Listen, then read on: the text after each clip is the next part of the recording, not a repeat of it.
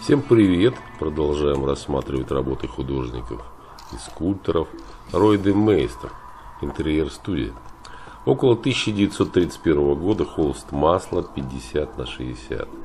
Ройды Мейстер – австралийский художник с мировым именем, первый в Австралии, начавший работать в стиле чистого абстракционизма.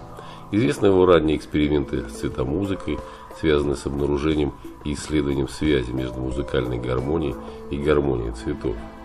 Разработанной им цветомузыкальной теории Мейстер в 1919 году посвятил выставку «Цвет в искусстве». Впоследствии под влиянием кубизма он отходит от абстракции в сторону фигуративной живописи.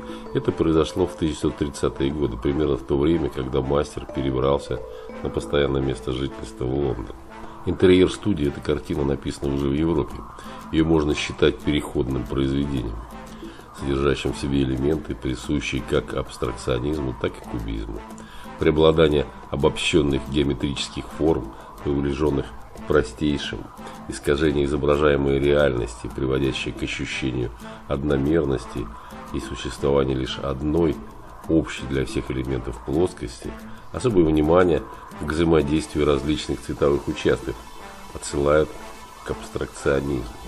Тем не менее, на этой основе образы конструируют определенное пространство, внутри которого размещаются легко идентифицируемые, хоть и условные, человеческие фигуры. В подобном использовании наблюдаемого мира для преломления под собственным углом зрения и состоит главное отличие кубизма от абстракционизма, окончательно отвергавшего вещи привычной действительности, создавая свои собственные отвлеченные миры. Вот такое описание к работе Ройда Мейстера, интерьер-студии, около 1931 года, холст масла, я нашел в интернете. Текст по книге «Великий музей мира». Пока-пока, до свидания.